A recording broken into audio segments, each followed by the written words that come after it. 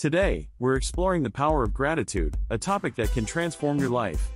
Cultivating gratitude is key to a more fulfilling and positive life. Gratitude isn't just saying thank you. It's a mindset, appreciating the positive aspects of our lives. But why is it so important?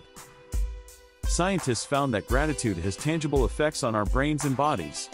It releases dopamine, fostering positivity and impacting sleep and stress levels.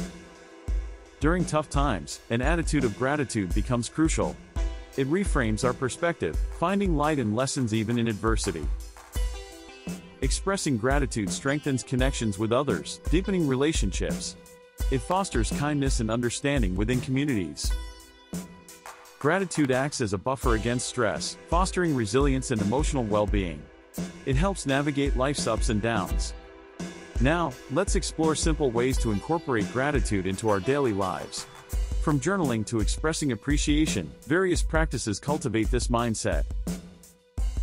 Many people participate in gratitude challenges, spreading positivity online. Share your experiences in the comments below. Embrace gratitude as a lifestyle, finding joy in the ordinary and appreciating those around you. Thank you for joining me. Like, share, and subscribe for more.